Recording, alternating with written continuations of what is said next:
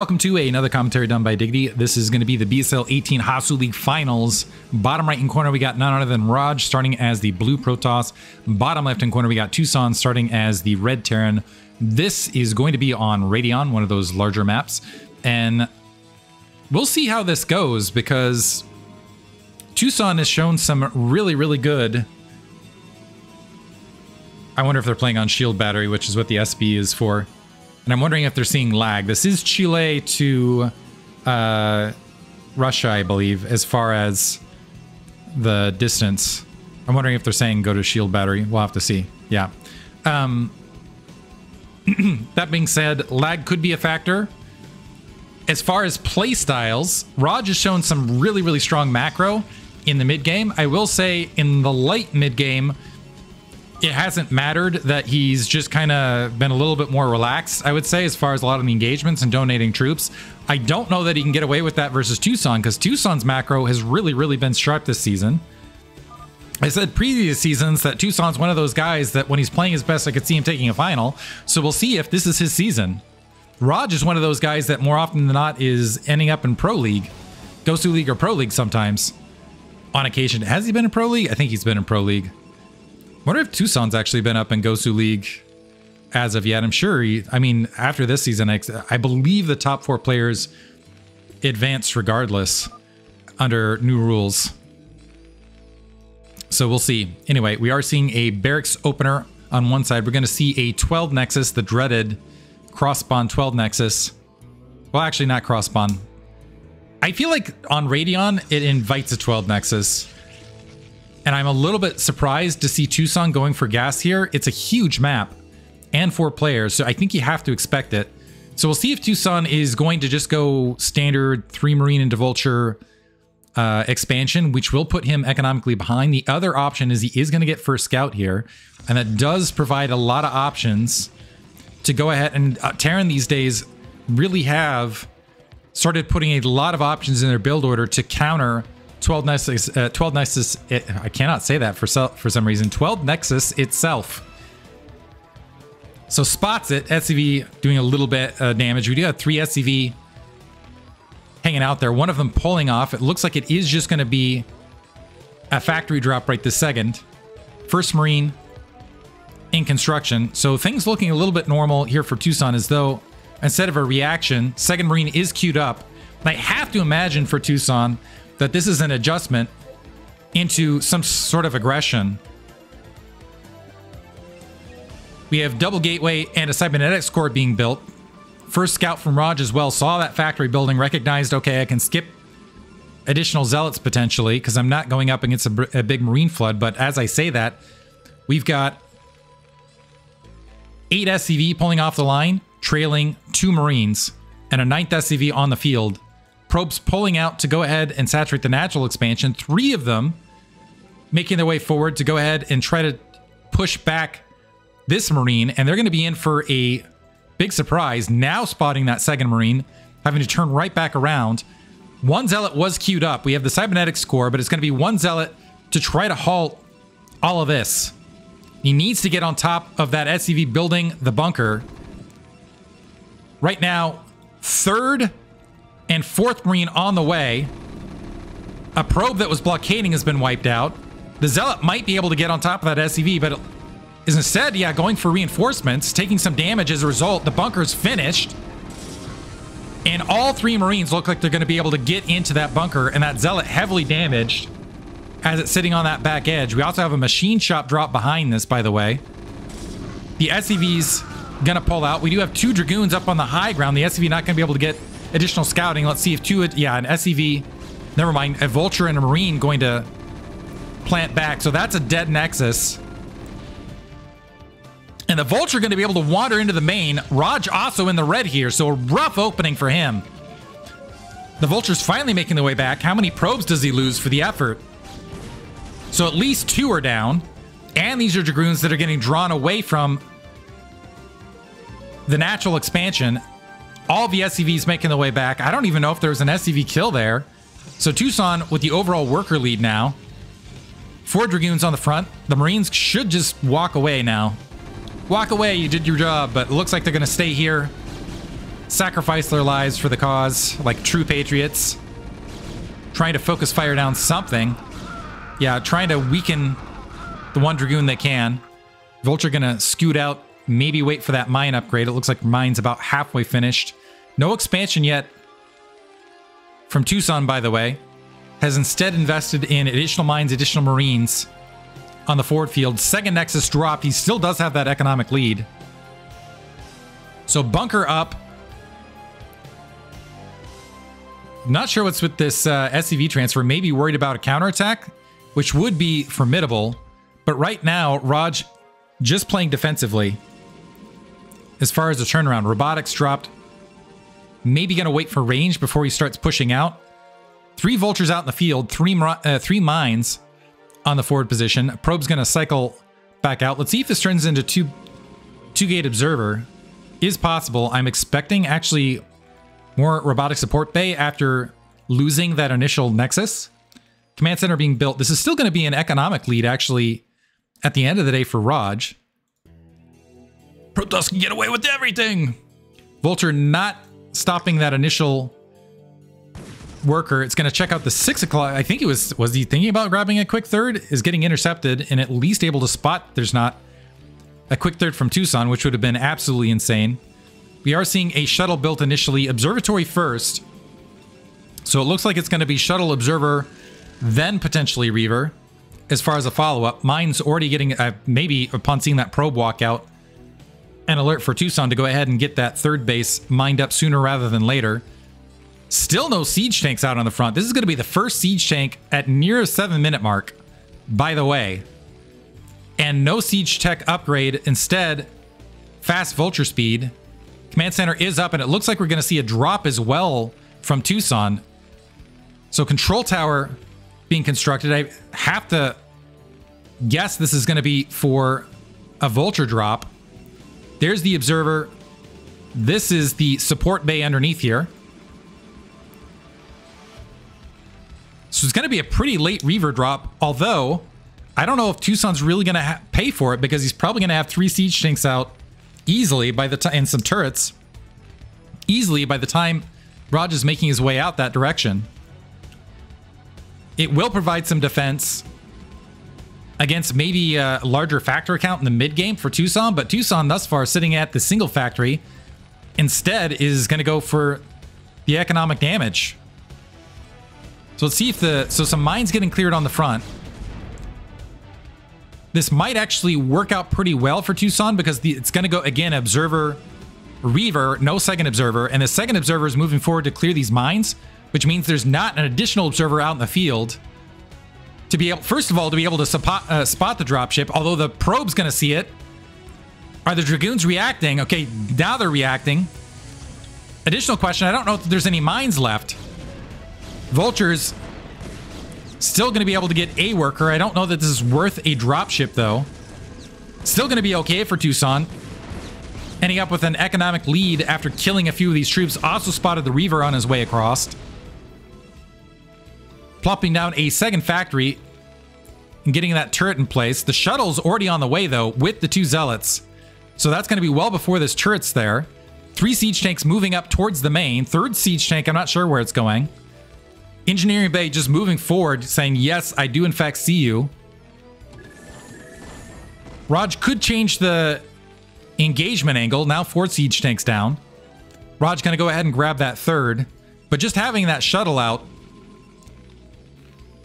potentially providing enough of a threat. This is how Terrans tend to get slowed down as far as any aggression. But I think Tousan is going to play, never mind building a Wraith to go ahead and engage that. I was going to say, I think he's going to drop an Armory behind this and maybe grab a faster third. Instead, going to go ahead and go up to three factories. He is dropping an armory behind this. I want to say Upgrade Terran seems to be dead. Maybe because of this early Reaver to kind of press and delay and get additional bases up a little bit more rapidly in response to it towards Terran passivity. Five Factory has kind of been a lot more standard, and I want to point out, I want to give credit to Artosis where credit's due. He's kind of pointed out that's kind of been the case. Kind of, we're shifting into kind of a new meta space. Wraith misses the shuttle. There's still siege tanks underneath. I do like the Wraith as a counter to that potentially because you wipe out that shuttle and that Reaver threat early, and all of a sudden the map opens right back up. Four factory, five factory in the mid game tends to be the Terran play, and then getting enough troops out to secure that third. Shuttle speed just about finished. A photon cannon in the main. In response, it looks like the natural expansion as well in response to that potential dropship play. Third base up, not yet saturated. But at least it's a third base. But Tousan are pretty... He's... Raj actually not in a bad position. I'm going to say he's within that 20 supply spot he wants to be. That observer is going to see... Uh, it hasn't really gotten an information. This is a pretty healthy siege tank count. A lot of vultures being built underneath it. And I think this is just to get that attack trooping to move out and grab that third. Nice response time from Raj. Last second moving that observer out of the way. The Dragoon's starting to peel forward with that shuttle. And there should be enough siege tanks to, to bully the rest of this back. It looks like the SCV getting caught here at the 6 o'clock, or sorry, the mine's getting cleared at the 6 o'clock location. Raj piling in there, wants to make it as hard as possible to move into this. Although it looks like the vultures are filtering out, taking a look at the 9 o'clock location rather than the expansion here at the 6. An initial drop and a little bit of a mine drag. That was some amazing Zealot play. They dropped... Bye-bye, Wraith. Dropped, got a couple shots on that Vulture, and then immediately able to scoop right back up into that shuttle. We do have that dropship making its way out. It looks like that's going to go unspotted. This could wreak maybe some havoc here at the 3 o'clock. But there are two cannons in play. Ends up negating a little bit of that in general. It's kind of you trade the vultures. The mines have been spotted to the north. Dragoons moving out there, and Raj has a smothering amount of troops now, mid-map, in a pretty good position. The dropships ignoring the third, instead going for the main. They're going to be able to spot the gateway flood. Raj this time loses the dropship, able to get the vultures across the top, but that's going to pin the vultures in. Not some nice Sim City, I got to say, from Raj to deal with dropships that are instead going to filter down to the natural expansion. Drop some mines to be annoying. Maybe get... Well, they're going to get some probes at least here before getting wiped out. So a little bit of slowdown, but honestly, not anything I think a Protoss is not expecting. So I kind of wonder on the math on that because it's like a drop ship, four vultures, and you get, what, four or five workers? I don't know that that ends up being worth it at the end of the day. Tousan in the meat, although what it does do is it buys you time to go ahead and get some macro behind this instead of having a Protoss in your face. Raj moving out, wanting to grab a third. Gonna go ahead and take it to the 9 o'clock location. Sieging up pretty wide. Raj does have a shuttle with speed in between here and a lot of Dragoons. I think he mostly wants to mirror the movements and make sure he stays a couple bases up. Needs something to clear the mines, unfortunately, top right. Let's see if he just suicides a Zealot up there. So recognizes the third base. Tousan already built it. Off corner. Down 30 supply. Does have plus one weapons, however. Has he dropped a second armory? Just now dropping that second armory and getting the science facility in place. So a little bit slower on the upgrades this time. 30 supply lead from Raj. Raj in a pretty good macro position. Looks like he's going to use a cannon potentially to cl clear that top right. Observer moving forward is going to get wiped out, but sees the siege lines and lets him know the positional play. It looks like currently it's Gateway Man for Raj. And he's got enough, honestly, of a supply lead right this second that it's potentially going to work out for him. Moving some Zealots forward. Going across this middle gap.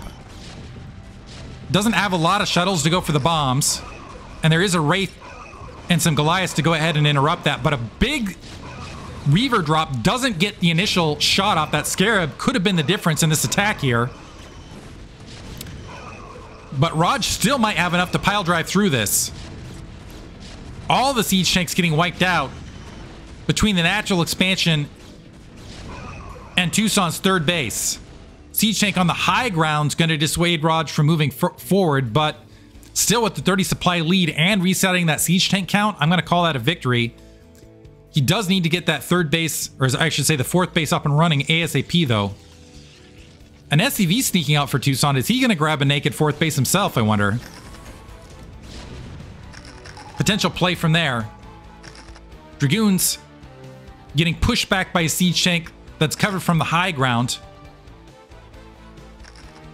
Some more vultures mining midfield. But this is giving Raj some time to go ahead and resupply. It looks like he is just going to stick to Gateway Man and not adding in additional shuttles, which means his engagements need to be impeccable. Thus far, 30 supply lead. Some vultures did manage to sneak through the lines that could create some havoc, in particular top right. Pylons getting dropped to go ahead and box that probe in. The vultures maybe just wanting to hang out and box things out. The zealots trying to run in. The mine's clearing a good lot of them.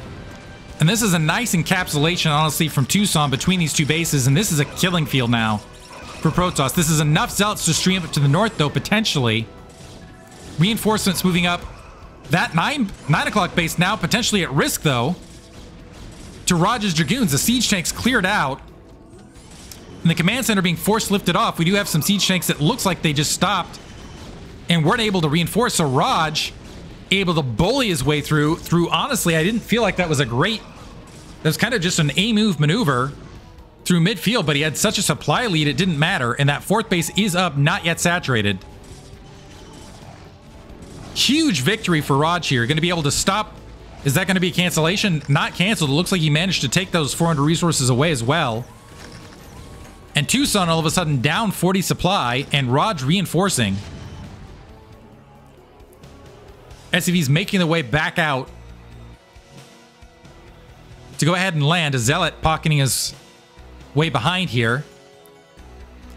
One Vulture is going to go ahead and check top right. A probe is heading that direction to go ahead and continue because the main mined out Single Zealot is going to be late to go ahead and save that probe. What could be a big turnaround situation is if there's th this situation right here. If the probes get transferred directly to the third, or I should say the fourth, and in that process, these vultures kill absolutely everything as they're making their way across. And it looks like that might be the scenario here. So big win there for Tousan. Got a lot of workers. And it doesn't look like Raj caught it on alert either. So much smaller saturation on point that is going to hurt Raj's economy. Third base up, and we got a sneaky base top left. Some vultures streaming forward, able to pick off High Templar. But Raj continuing again. We have a few High Templar here, but still mostly gateway units. And I'm not even seeing a single Psystorm out yet. Yeah, Rod just shoving his way in. But gonna have to back off now. It doesn't look like it was enough. Supply count's dangerously close. And Tousan feeling like he won that engagement convincingly enough that he's actually going to chase the remainder of this army down. Plus two weapons, plus one armor up, by the way. For Tucson. So resieging mid-map, we do have a Nexus drop here, the 6 o'clock. That was brave from Raj. And Tousan, honestly, in a situation where at the close reinforcement point, he could probably just move in Vultures as an afterthought to take out the 6 o'clock. This is also going to provide, I think, sufficient defense and distraction to defend that upper left-hand corner. The main is mined out for Tousan, however. And the Vultures are, are do they see the 6 o'clock is the next question.